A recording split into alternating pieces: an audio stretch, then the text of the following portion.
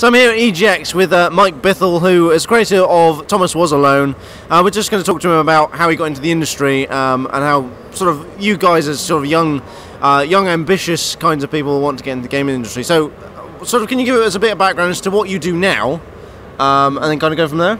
Yeah, so I'm an independent game developer. I made uh, Thomas Was Alone, which was a kind of pretentious platformer. Uh, I'm now making Volume, which is a stealth game. Um, they come out on everything. You can Google them. They're, they're, they're, they're, they're doing okay, which is nice. Um, and yeah, so I, I basically live off my games and make whatever the hell I want, which is nice. Um, yeah, it's cool. Pretty good. So, where did you sort of start within the gaming industry? Was it kind of like, a, oh, you did a degree and then you sort of fell into it, or is it kind of you knew somebody who kind of said, oh yeah, we, we really want you, your talent in this specific sort of area? Uh, so for me, I did the university thing, which is one way of doing it. You don't have to do it that way, but that's how I got in. So I went to uh, yeah, I went to a, a, Newport Uni, and I did. I actually did a computer game design degree. Uh, obviously, my entire family thought I was skiving, um, was faking faking going to university, but I did, and I got the degree. Um, and I was lucky. I kind of got a job straight out of that. Worked at a company called Blitz Games, who are up in Leamington Spa. They're not they're no longer uh, in existence, but they were there then. Uh, worked on like third person shooters, uh, Nickelodeon tie in games, uh, Kung Fu side scrollers, like everything. Um, and then a mate of mine moved to London to start his own studio called Bossa. Uh, they're probably best known for Surgeon Simulator now. So I kind of went, worked for them as lead designer there for a couple of years. Uh, I quit actually just before Surgeon Simulator, so I had nothing to do with that game. Um, although it is bloody cool. Um, and then, yeah, in my spare time, I was making this little hobby game. Uh, Thomas was alone, and it kind of came out and did a lot better than we expected. So how does that compare to something like when you develop a game like Volume, for instance, compared to Thomas Was Alone? Well, it's a lot bigger. I mean, that's the big shift. Is um, is Thomas Was Alone was kind of me and a composer and an actor. Volume is about 20 of us, so coders, artists, big cast, um, uh, sound designers, everything. Like just a massive, massive team. Um, that's the big shift is just kind of working with a big team to create something much more substantial. Um, it's you're still doing the same thing you're still trying to make a fun video game. Um, but yeah it's uh, it's a different scale of work so I mean, I know there was um, uh, during the, there was a Minecraft documentary with Notch, and he um, he did loads of stuff. And obviously, when they expanded into this, they had like five people to start with, and then moved to like a team of like fifty odd people. I think now it's just ridiculously huge. I mean, do you see that as being a, a detriment because it means you have all these people you can then manage on top of everything else, or is it a great thing because it means you've got more people to go and get coffee, for instance, or go and do everything else?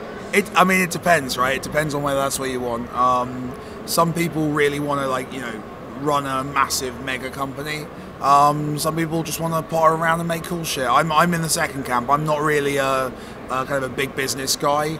Um, I just have you know a big group of mates making something cool together, and, and as long as we can keep that feeling, I'm happy. Um, who knows though? Who knows? I might change. I'm as I age, maybe I'll become slightly more kind of evil corporate. I'm not sure. So um, I heard that you're dealing with something to do with BAFTA in terms of young gamers and young game designers. Yeah. Can you tell us more about that? Yeah, so uh, so BAFTA have this initiative. Uh, it's called uh, BAFTA Young Game Designers, and it's it's cool. It's uh, it's basically uh, BAFTA trying to do what they can to support kind of the next generation of me's. The, the, the, people kind of still in school. I think they run from, I think it's 10 to 17, might be 11, 17, not sure. Um, and it's basically if you're a kid in the UK and you want to make video games, this is this is it. This is the thing you want to jump in on.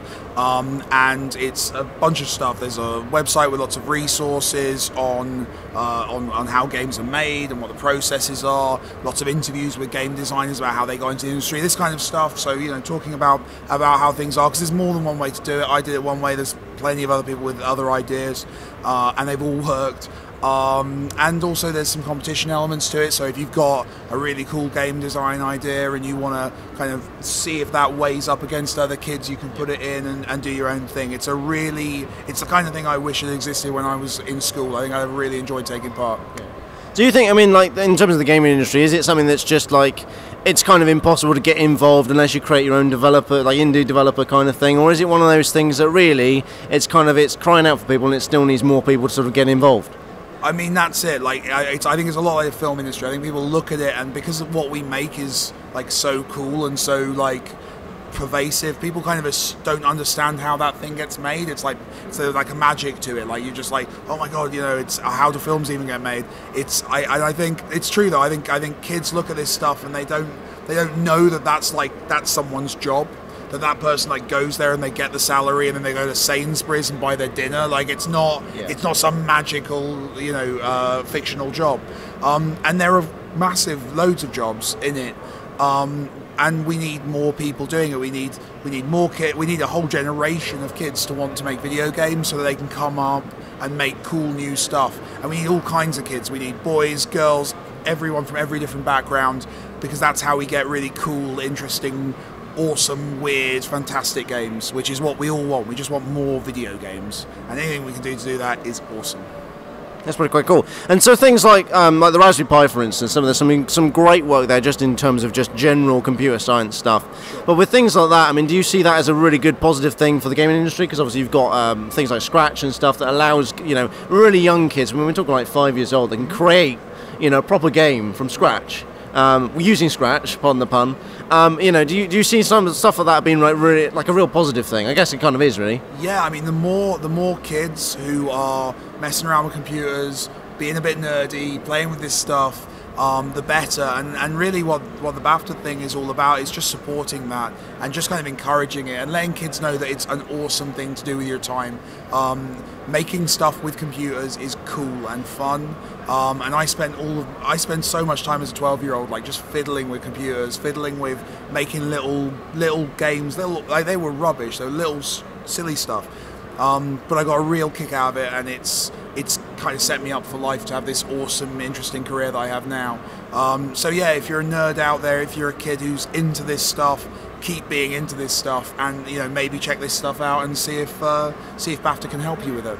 And that's really quite it's quite a good thing to be because I think say I mean you look at game where game the gaming industry's kind of changed I think where you had like say these big studios and you still have these big studios but more oftentimes you get these indie games say things like Surgeon Simulator which was kind of just a thing that just kind of existed because of some I think it was some event or something wasn't it and just kind of just just created in a day and it was just like this thing and it's existed and people really love it and things like again like Euro Truck Simulator from these guys that are really really tiny but again one of the most popular games you could possibly find and the same with Minecraft and stuff like that.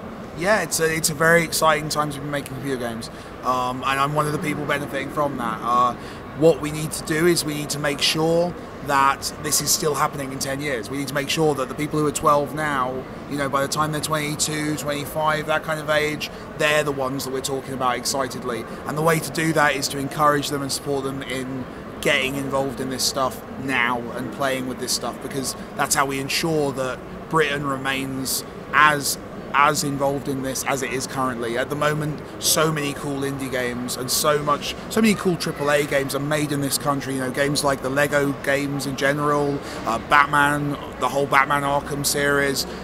GTA, these are big, massive games that are made in the UK, and we need to make sure that those games are being made by the next generation. Um, we should be proud of it as a country, and we should celebrate uh, how much cool stuff is made here.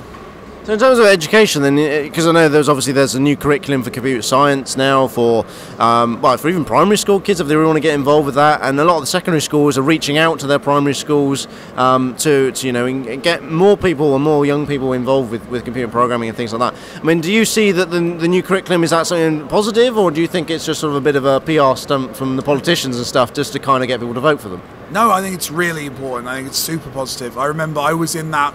There was a there was a period where computer science was really cool and well taught years and years and years ago, and that led to people. I, I worked for a couple of them, the Oliver twins, who were bedroom coders who made millions making really cool weird games at the age of 15 because they were going home from their computer science classes and making this stuff in their spare time.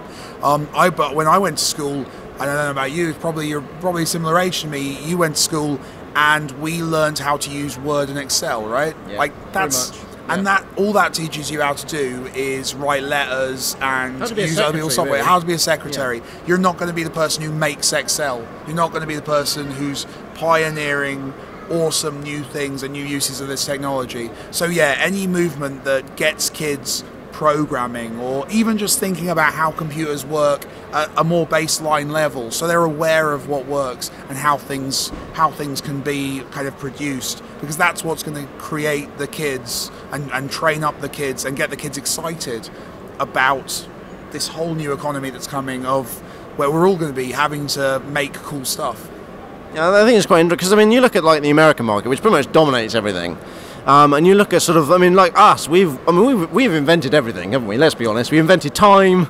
We've invented. we invent, can we take, can we take full credit for time? Well, well maybe. Well, Greenwich Mean Time. Let's just say say that. Um, and you know, with things like um, like the Raspberry Pi and oh, and obviously the internet. We invented the internet, and Tim Berners-Lee and, and Co. invented the internet. You know, that kind of stuff is, is sort of been it's been removed from us. I think a lot of the times, I think we've sort of taken a step back from like the 90s came along. and We sort of said, oh no, we want people to be really productive in an office. That's all we want. We don't want people to make stuff because that's no good. Who wants to do that anymore? And I think that kind of stuff. I mean, say you, look, you talk about Rockstar Games and stuff. Some of the stuff they make is really cool and it's really high level. It's AAA stuff. Not the indie devs are nobodies, but at the same time. Uh, you know, it's good that there, there's some AAA guys there that are making the big bucks, Yeah. bringing them, bringing the money back into the UK, which is what we want, and uh, you know, and making the economy better. The point is, we need a bit of everything. It's diversity. You need little, cool, weird, creative indie games, and you need massive AAA Goliath games. And we need to celebrate both ends of that spectrum and everything in between. Um, it's all good, right? We all we want this country making and leading culture, and we do. Uh, we just need to do things like this to make sure it continues. And it's the kids watching this who are going to be in charge of that. We're all going to be old and irrelevant at this point.